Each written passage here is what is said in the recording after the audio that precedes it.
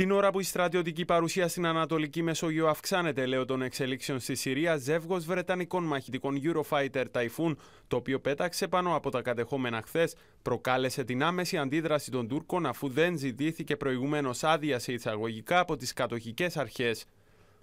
Δύο τουρκικά μαχητικά τύπου F-16 απογειώθηκαν από τη βάση Ιντσιρλίκ με πορεία αναχέτησης των Βρετανικών Eurofighter.